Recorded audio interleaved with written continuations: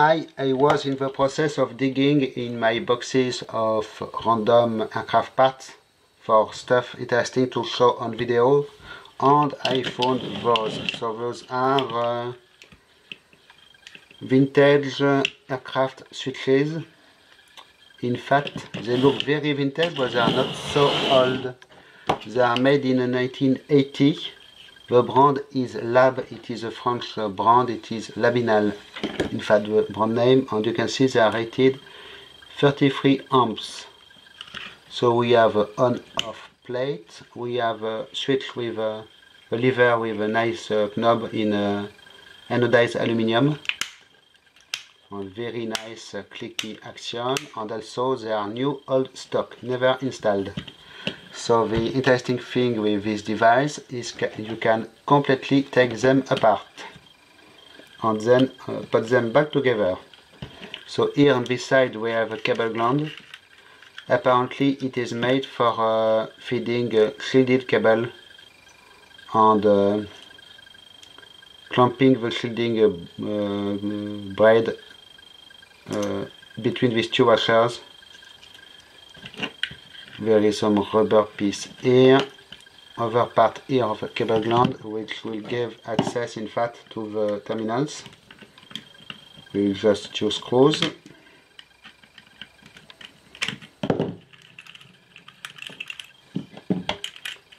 so really nice construction. Here we are. So captive screws here. Uh, terminals seems to be um, brass probably they are a little bit darkened or maybe they are silver coated actually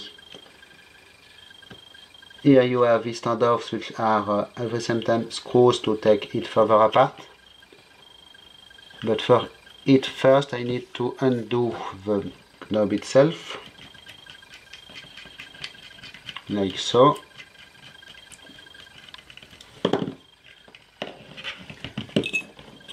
I will try to all the parts aside here you have front plate with uh, on off uh, label. And it is also how you will attach the button to a cockpit panel I believe through a cut out in fact in the panel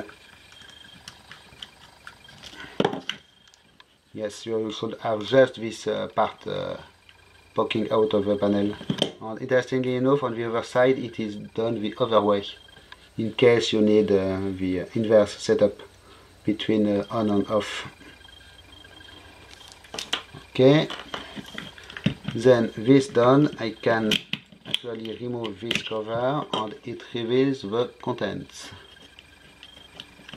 but it is not all in this we have just some uh, insulating uh, cardboard I can now remove this piece here. And it is not all so here we can start to see how it works. In fact we have a spring loaded action. We have this two this plate with two contacts coming against uh, these uh, terminals. So very nice clicky noise but uh, I can't go further. And I can undo it completely. So in the order we have standoffs we have a terminal module itself with big contacts here. So this is made in bakelite or something like this we have springs. We have washers.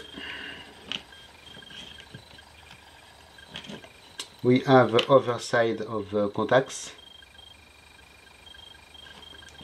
We have spacer in uh, some kind of uh, brown uh, material. Over spacer we have this um, metal piece is pressing actually against the it is giving it the structural rigidity. We have this uh, springy uh, plate part. And we have two spacers here. And we have a front piece with it is not all little uh, assembly like this with two rollers. And now the front piece with the uh, lever which is riveted. And also these uh, threaded pieces which are riveted. Okay. And here are all the parts of the switch in the order of uh, assembly. So let's do it Zoom we start with this metal plate. I believe it was uh, like so.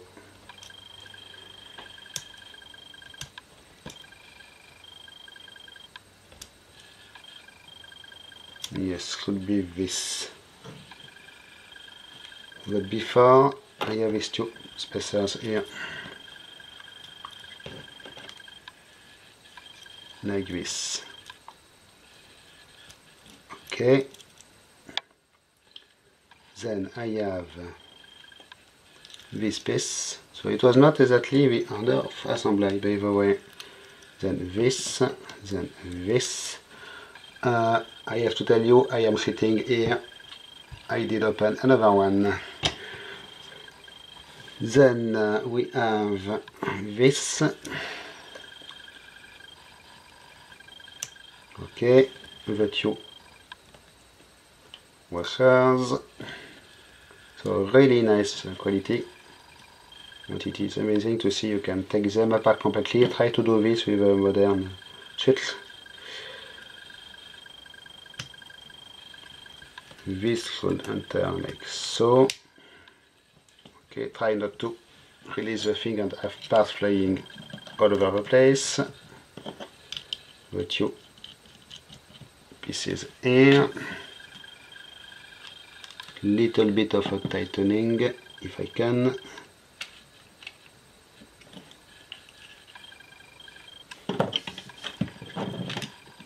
You need a very uh, wide screwdriver in fact for this thing. Here you can see. Mine is uh, really not wide enough. Okay then uh, we test we can test and it seems to be working pretty well. Then we have this. Then we have the insulating material on the cover. So this is a little bit tricky because you have to actually put the lever uh, straight more or less in order to be able to the cover okay still working I can check in fact which one is the on and off. So it is this direction.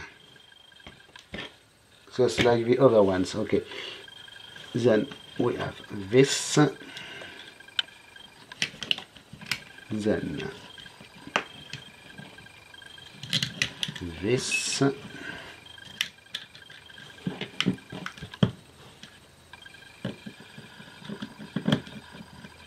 need a smaller screwdriver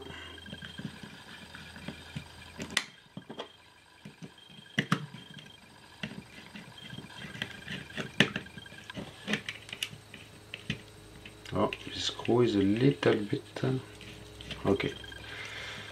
Good.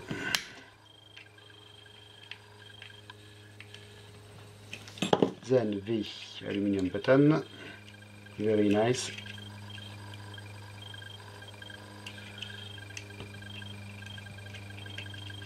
And there is an aircraft passing over the house while I am taking apart an aircraft button. Uh, coincidence? I do not think so.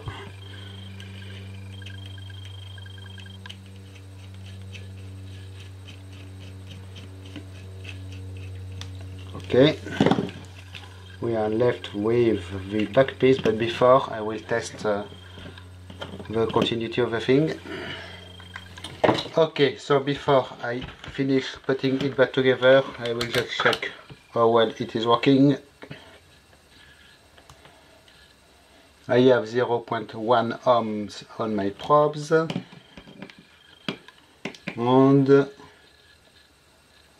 still 0.1 so it makes no difference. I can measure.